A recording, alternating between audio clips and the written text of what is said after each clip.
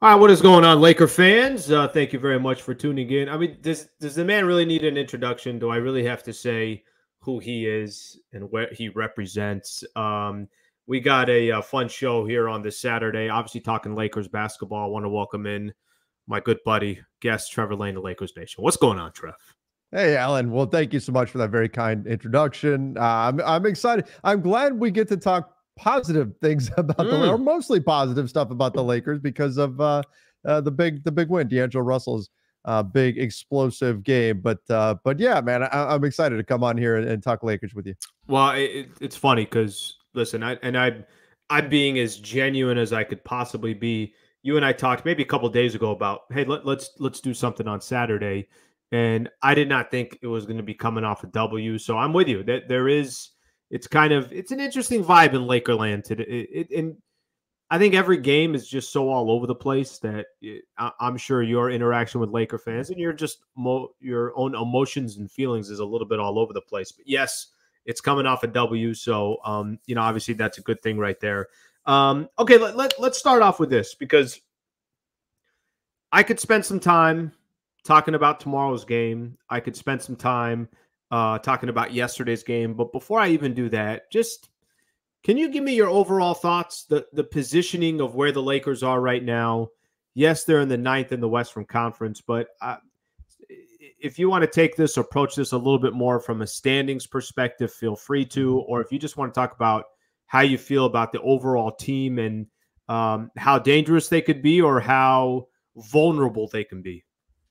Yeah, I mean, it has been a Jekyll and Hyde season for the Lakers. You never know what you're going to see out of them game in, game out. I mean, that the game against the Kings followed up immediately by a great uh, win against the Bucks. Uh, that that's a perfect microcosm of what the season has been. You just never know really what you're going to get out of this team. But uh, on the positive side, the ceiling is there for them, right? This is a team that has the ability to take their game to another level. We saw it during the in-season tournament. And we can get into the reasons why they're so hot and cold and why we see them struggle at times. Other games they're good. But I, I think the bottom line when we look at, at, at this squad is that they are consistently inconsistent.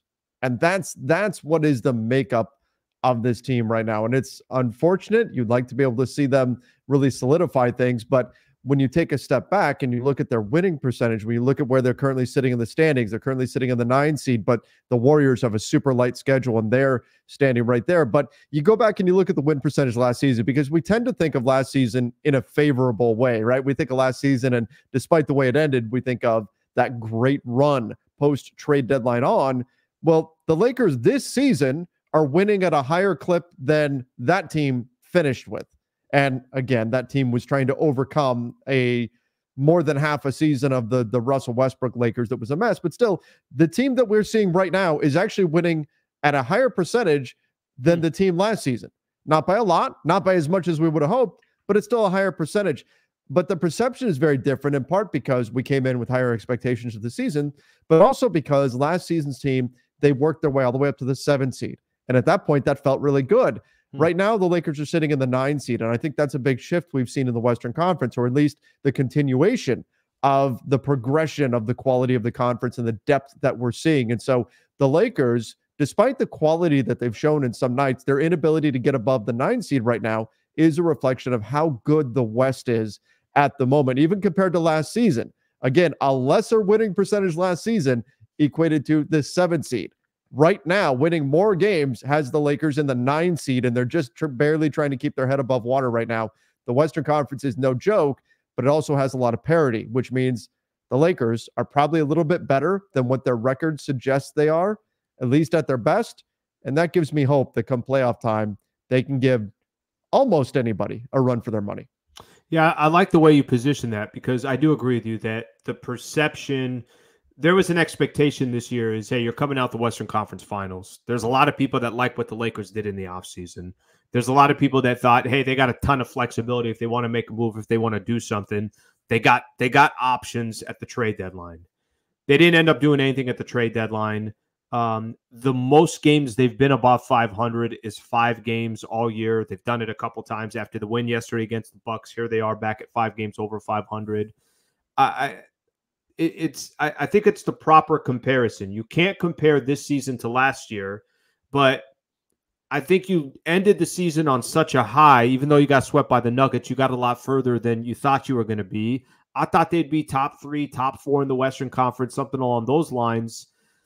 I think every point that you made is fair, but I also think those who are pessimistic about the team, that's fair too. I, I, have kind of mm-hmm. gone on this roller coaster with the Lakers, which I think every Laker fan has. Every time I feel like, wait a minute, are they going somewhere? Is, is this? Are they starting to get to um, a place where this is the Laker team that we all signed up for? They give you a game to be discouraged, or they give you a couple of games where you kind of scratch your head and it's like, well, I thought I kind of knew who they were. Do you feel like you know what this team is? I mean, I, I like your description of they're consistently inconsistent. Do you feel like you know what they are, or maybe that's this is exactly who they are. Remember that quote Bron had said we could beat anybody, we could also get our ass kicked by anybody. Maybe that's just who they are and that's what they're going to be up until playoff time. I think part of it has to do with what they've become as a team and that is a team that is very reliant upon their offense. They've done a complete 180 mm. in terms of what they are as a team compared to last season. Last season, their post trade deadline run was fueled by a massive step up on the defensive side of the ball. They became one of the best defensive teams in the NBA. That's what fueled their run. This season, it's the offense. They're one of the better three point shooting teams in the NBA. Go figure, right? I mean, it's been, it's literally been, uh, uh I think it's been a decade since we've seen a Lakers team ranked this high in three point percentage. Uh, their offense is fueling everything for them. Their defense, not so much. In fact, before the Bucks game, I haven't looked today to see what the result of the Bucks game really did, but uh, coming into the Bucks game, since the All Star break, they ranked 28th in defensive rating. They've been getting crushed on that end of the floor. And so I think inherently, when your defense is struggling and you're relying upon your offense to pull you through, they were eighth in offensive rating heading into the Bucks game. What that does, because offense has more variance to it, defense night in, night out, you can lock down. Sure, guys will get hot certain nights, but there's more consistency found in, in defense. So I think inherently, with the team making the shift to become more of an offense driven team, uh, that's going to create even more of a roller coaster effect, which is why we're on these emotional highs and mm. lows. If they're shooting great, they look fantastic. And if their offense struggles, well, they're not getting stops on the other end either. And they, eh, well, and we saw what happened against Sacramento. So I think that's part of the inconsistency is it's not just the team's been riding these highs and lows or they're playing harder one game than the next.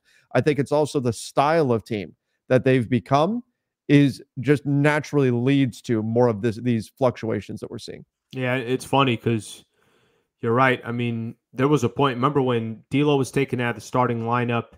I remember there was Darvin Ham had some type of quote of, "We want to have an identity, and if we're going to have an identity, it's going to be on the defensive side." And you're right; it's completely shifted. It's not, you know, the the thought process and the mentality. They beat the Bucks yesterday I know it's kind of ironic that it's Dinwiddie getting a stop and getting a block, and it's mm-hmm. a defensive stop, but they beat him because D'Lo was unconscious. That they hit 16 threes, they shot 47 percent from the three point line. They beat them because of their offense, right? Yep. That they had, they punched every time that the Milwaukee Bucks punched. Um, this actually takes me. I think it's a perfect transition. Um, man, what an interesting. If we were in mid December and I told you to describe D'Angelo Russell on the Lakers, and I told you to describe what you thought the future of D'Angelo Russell was going to be on the Lakers. And then here we sit today on March 9th, about a month away from the playoffs starting. And, and and, the perception of D'Angelo Russell has completely changed. So I, wanna I wanna just kind of get your opinion on D'Lo. Trevor, what's changed? What what what happened to the player that everybody was talking about. Even the moment he signed his contract in the mm-hmm. summer, and you knew that there was there was not a trade clause, there was already trying to figure out. We are probably two weeks into the season. It's like, hey, Zach LaVine might be available or Dejounte Murray. Think about just this this um, this this slow progression to where he is today. What what have you noticed most with D'Angelo Russell, and how is this dude all of a sudden becoming such an integral, integral part of any success that the Lakers are going to have. It's going to have to be with him.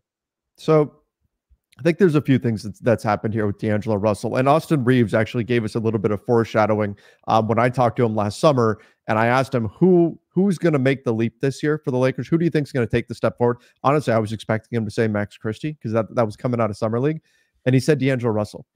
And I hmm. thought that was really interesting. And now you've seen what D'Angelo Russell has done over the course of the season and how he's grown. It may Austin's prediction. He's very close with D'Lo it makes sense now when you're seeing the the maturation of him of D'Angelo Russell as a person. You're seeing the maturation of his game. I thought uh, he he explained it pretty well when he said that essentially what's happened with with D'Angelo Russell. He went on that slump in, December and it was tough. And Lakers fans were saying, "Oh my gosh, we got to trade this guy. What do we do with this guy? He yeah. couldn't hit shots. He looked like he lost his confidence. He got hurt." So he bruised his tailbone. He missed three games with a bruised tailbone. And during those three games, he said he basically sat there the whole time and picked out the areas of the floor that there were openings. And he started to, it said it, it like it clicked at that point. He started to recognize where he could he could make more of an impact. So just being forced to sit on the sideline and watch, it's like drafting a rookie quarterback, right? And having them sit. The Patrick Mahomes uh, example, right? Sit and watch for a little bit, and then you can get in there, right? So D'Angelo Russell kind of had that injury forced sort of sideline timeout, whatever, mm. in his season where he had to just sit and watch, and that was all he could do. And he picked out some areas where he could be more effective. And then since then, he has been on an absolute tear. And then in last night's game, I think the way he's reading the game, this is really the key to his step forward as a player. He's reading the game at a different level. It's not just that he went and he and he put up 44 points. He did it by playing in pick and roll basketball, by getting to open spots. He's not the quickest player, he's not the most athletic player, but just by using his smarts, he's getting to the creative. right spots on the floor. He's creative, absolutely. And then after the game, Spencer Dinwiddie credited D'Lo for the guy who told him like what, what to do. What yeah, what to do, what Dame was gonna do. And Dinwiddie is the the elder player here, but D'Lo knew the tendencies of Damian Lillard, and he told him what was going to happen. He also, if you watch the game, that big steal for Austin Reaves at the end of the third, D'Lo was the guy who was calling that out, who was telling Austin what Giannis was going to do. I think the way he reads the game and sees the game has gone to another level. And I think that three game stretch when he was hurt, I think that was the catalyst for all of this. So yesterday, Trev, um, I'm watching the game as we both are, and Billy Mack, Bill McDonald, you know, had kind of a similar story of how the crediting his time away to just sit on the bench and kind of look at things from a different perspective mm-hmm. um, to however that's helping him right now. But it's just a, such a crazy swing for me because, again, I think it's the perspective of here's a player, and I'm guilty of this too. And it, I don't think Trev, it's just Laker fans that were saying get uh, D'Angelo Russell out of here in December. I think it was also a lot of the media. I think there was a lot of you know certainly. Um, hey, we got to win right now. Like we don't have we don't have time to fi- figure this out. Plus, it wasn't too long before that you had that playoff run where D'Angelo Russell virtually wasn't used or could not be used against the Denver Nuggets. So that's sticking in a lot of people's head. So, I, by, by, the way, I think the criticism was fair. I don't think that the criticism was uh, unwarranted. But my point is, is that how quickly he's turned this around to become the player that he is. Let's go back to yesterday's game because I think I think last night's game is a good example. He hit nine of 12 from the three point line. Obviously, that's just an unbelievable, ridiculous percentage. That's not always, you're not shooting 75% from three every game. But I like what you said about it wasn't technically just his threes. It's how can I get Dame behind me or to my side? And now I'm confusing Brook Lopez or now I'm confusing Damian Lillard. Now I'm basically going to get the shot that I want. Don't forget, Lakers were down six with you know once Dame hit that that three and and got the foul as well, it was D'Lo that found Rui, kind of created that pressure to get Rui the open three, and then it was basically D'Lo on the screen and roll of hitting those tough couple of runners that got the Lakers eventually the lead, and then they held on to the to the game right there. But the reason why I point that out is yesterday was just it's easy to just look at the 44 points or just the threes he was doing more than just hitting threes. Nine dimes on top of that. It, it's it's the best performance that I've seen from D'Angelo Russell. It's got to be very encouraging for Laker fans and certainly that mm-hmm. front office there that he's doing what he's doing. And I guess my question to you, Trev, and then we'll move on from D'Lo. Um, what gives you confidence that this is sustainable? What gives you confidence that if the Lakers are in a seven game set in the playoffs, because I don't think that's a guarantee, we'll, we'll see what happens. What gives you confidence that D'Lo can continue to be this much of an asset? So I think it's because he's, I, I, believe he's taken a step forward in terms of how he's reading the game right now. Uh, shooting will come and go. That just naturally, there's going to be variance in shooting. Steph Curry has nights where he does not shoot great, and I've never had an off night ever. okay, I want you to I've never. Al- Allen Sliwa excluded. Otherwise, otherwise, shooting there's just naturally variance baked baked in. Um, but if it's if it's not a Sliwa out there on on the yes, floor, if it's anybody, if it's anybody else, thank you, then thank you. you're gonna have those ups and downs. And and D'Angelo Russell, we can expect that he's going to have his off games too, where he doesn't shoot the ball as well. But I do think he's reading the floor in a different way. Um, and one of the the evidence pieces for that, it's it, he's averaging a career low in turnovers. He had those nine assists last night, two turnovers, despite the insanely high usage. The Lakers, he mm. was the Lakers offense, two turnovers. Like he is, he is taking care of the basketball uh, in a way that we haven't seen before. And I love that after the game, when he talked about the last shot, which ended up being the game winner, the last shot that he took, uh, he called out that the the Bucks messed up the coverage on it. He said, and he right. That's how he got the look that he got. He's like, oh, they messed up the coverage. I, something I say all the time, Allen.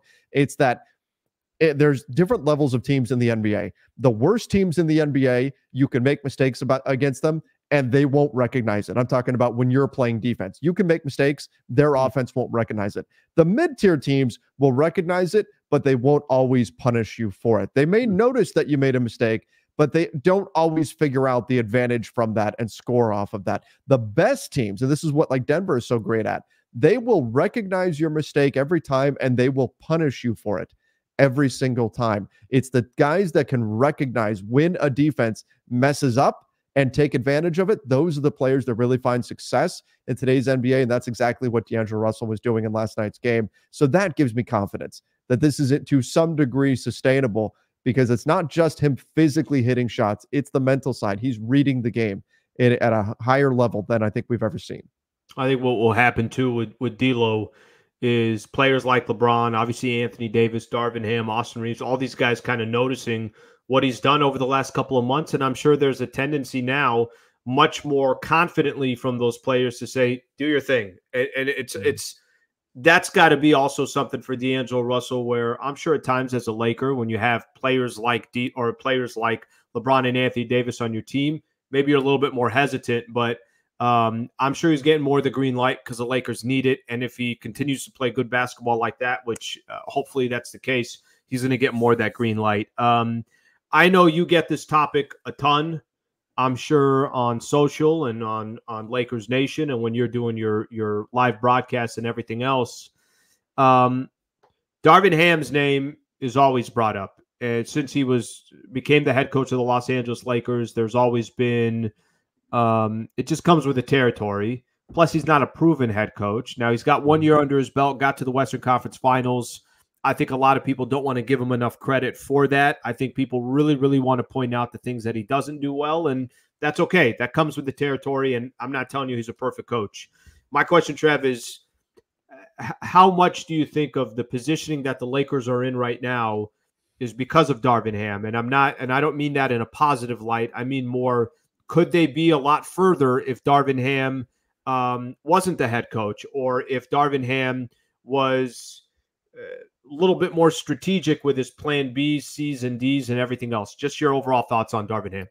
Yeah, I, I, think it's been a bit of a mess of a season for him. Um, and perhaps part of that is the, this huge shift with the team from going from a defensive team to an offensive team.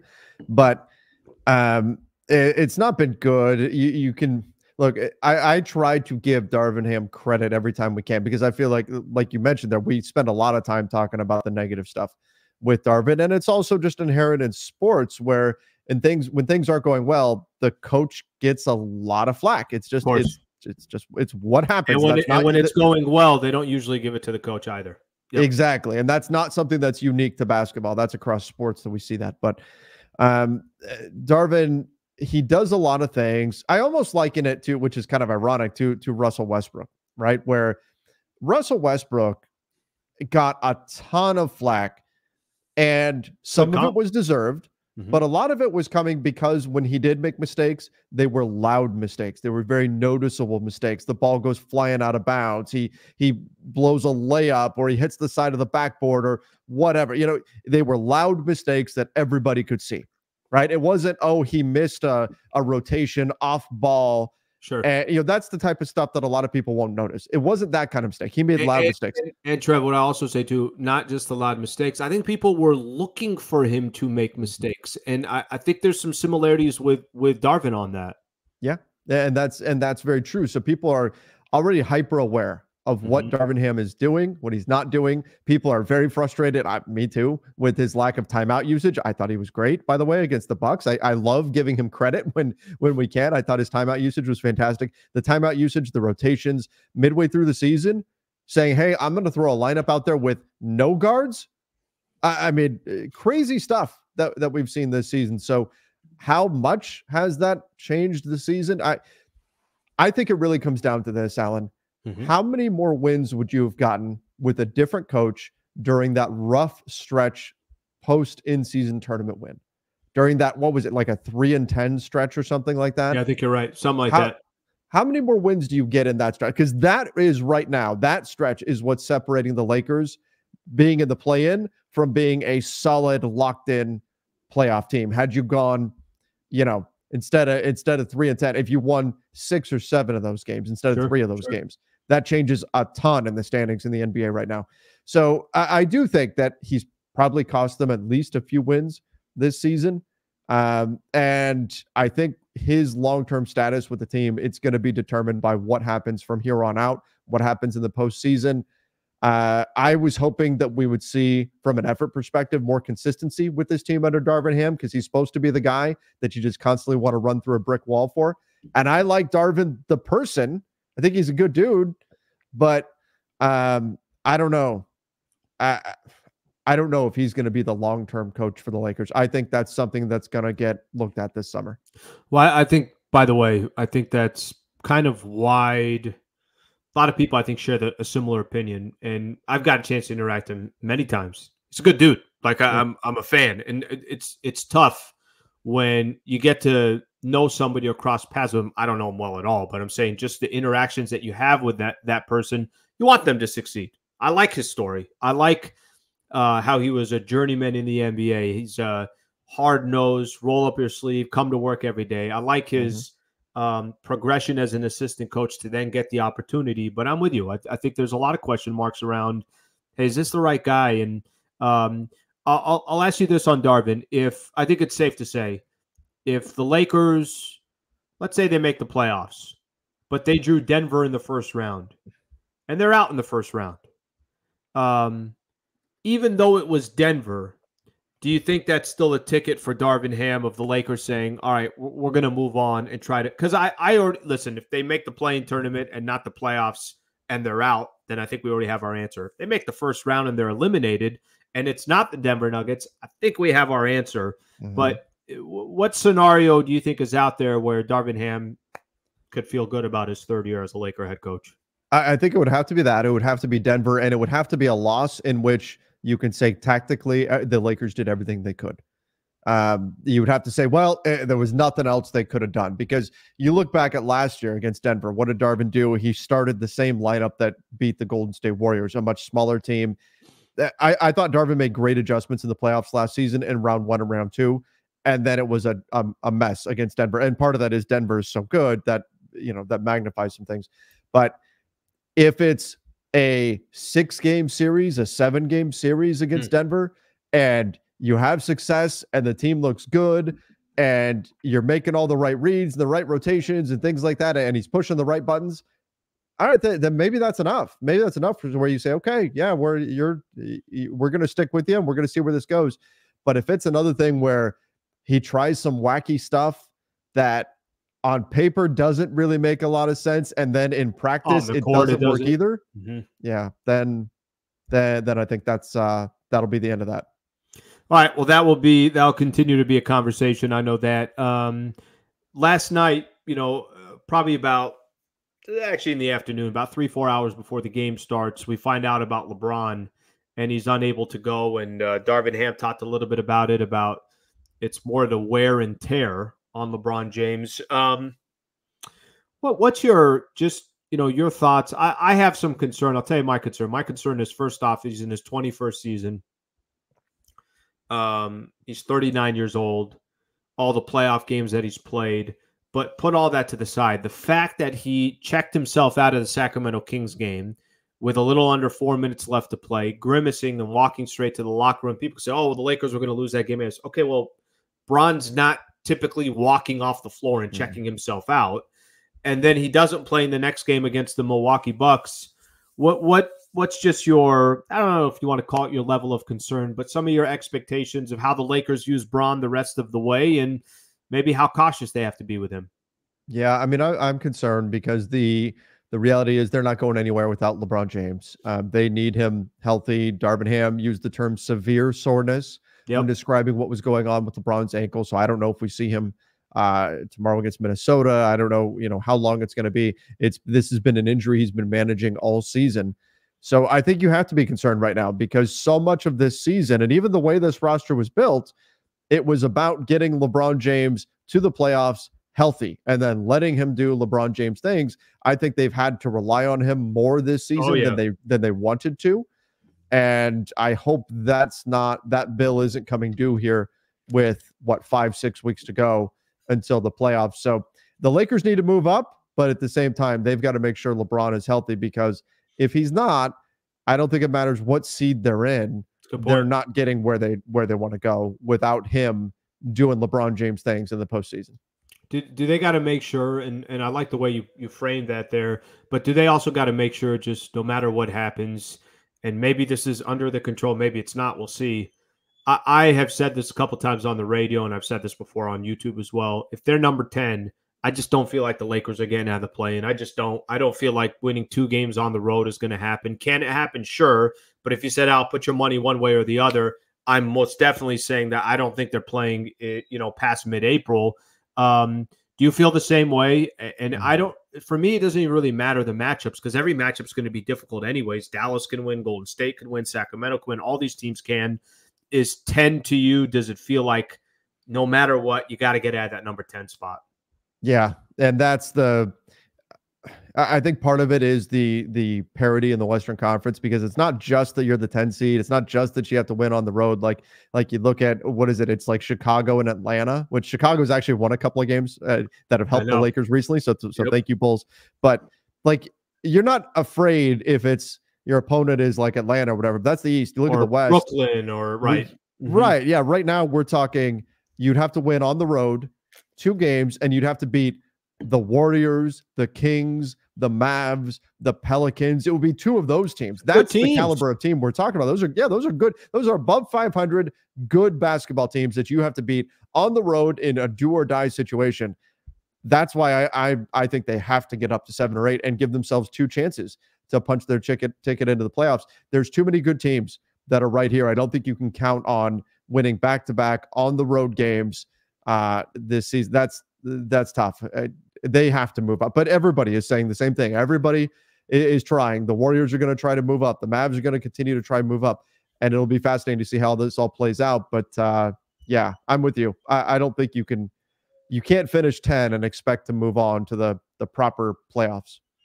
Um, final one, and uh, I'm gonna let you go, Trev. And I appreciate you taking the time here on this Saturday. Hopefully, everybody um, is enjoying some of the content on this weekend. Um, just matchups wise, I'm going to ask just the teams that you would like to face if you got to kind of pick mm-hmm. of the play-in tournament, and then the teams you'd like to potentially face in the first round. I'm just talking about more favorable matchups that you mm-hmm. feel like, hey, I like this matchup, um, and you could feel free to throw in the teams you want to avoid. Yeah, so I would if it's the play-in tournament, I would prefer. I, I, I think Phoenix may drop here. I wouldn't mind seeing the Suns. I wouldn't mind seeing the Warriors. Phoenix, uh, the, the toughest schedule left in the NBA. Exactly. Yeah, their strength of schedule is extremely difficult. That's why I have them potentially dropping, even though there's they've won their last two. But um, Phoenix, Golden State, I would prefer to not see Sacramento. Obviously, they're three and zero oh against the Lakers yeah. this season. Uh, the Mavs, eh, I'm kind of 50 50 on. I think the, the Mavs it, have won the Trev, isn't series. it kind of isn't it kind of funny that you said like if I'd have told you before the season started, you're basically asking for the Phoenix Suns, you're asking for Devin, Bradley Beal, right, and Kevin Durant over the Kings. You know, and, and listen, and the Kings have had the Lakers number, so I, I can't really argue that one. So you say Golden State, Phoenix, you'd prefer to see over the mm-hmm. Kings mm. in Dallas 50 50. By the way, I, am with you on the Dallas. I, I, think the Lakers can beat them, and I also think the Lakers could lose by 15 against them. Yeah. I just don't know which Dallas team would show up. Exactly, and that's the same thing. And and Mavs fans are the the way that Lakers fans feel about Darvin Ham. That's how Mavs fans feel about Jason Kidd right now. So mm. that would be a, a, an interesting dynamic there. But yeah, the Mavs aren't a team that I would necessarily say the Lakers can't beat or anything like that. And I don't think the Lakers can't beat Sacramento or uh, or anybody else. But I think that this is a better matchup. You know, you hear it all the time in the MMA world and boxing a little bit. You know that that styles make fights. Yeah, the same is true with the NBA and the play style for Sacramento is just apparently one that the Lakers are going to struggle with there, especially they've got the quick guards that can give the Lakers some tr- some trouble. Sure. So that's where I'd prefer to see somebody else. Now, assuming they survive and they get into uh, the playoffs, the team that I would want to see in round one, without question, it's Oklahoma City. The Lakers have had success against them. The Lakers are can be the bigger, more physical team, and that's a weakness of OKC. They're also a younger team. I think Minnesota presents some matchup problems. Of course, Denver is the team you want to avoid like the plague. Of course. And then uh, the Clippers as well. That's another side that has some interesting matchups for you. It, I, I think the ideal path for the Lakers would be OKC in round one, and then probably the Clippers in round two. Hmm. Maybe the Wolves are in there. Definitely not Denver. You you you want to avoid Denver as long as you can. If you have to see them with the Western Conference Finals, you have to see them in the finals. Sure. But you're praying that somebody else takes them out on the way in round one or round two. Uh, if you're the Lakers, so you want that path through OKC and then either the Clippers or the Wolves. And I think I'd actually lean Clippers there, but uh, but it's it's close. It's gonna be fun, buddy. It's going to yeah. be fun. Um, we got about a month left in the regular season. Let me see. The last day of the Lakers regular season game is actually April 14th. So a little bit over a month left, and a lot can happen. Um, Trev, always uh, love connecting with you. Love talking Lakers basketball with you. I know uh, everybody on these platforms love listening to you as well. So thank you, brother, for the time. Lakers and the Timberwolves tomorrow. Uh, so we'll catch up soon, you and I. But uh, thank you for uh, thank you for doing this, bud. Hey, no problem, Allen. Thank you so much for having me. This was a lot of fun. All right, that's Trevor Lane, Lakers Nation. Subscribe to subscribe to Hoops Talk. Subscribe to uh, Lakers Nation as well. We'll catch you guys tomorrow after the Lakers uh, take on the Minnesota Timberwolves. Thank you very much.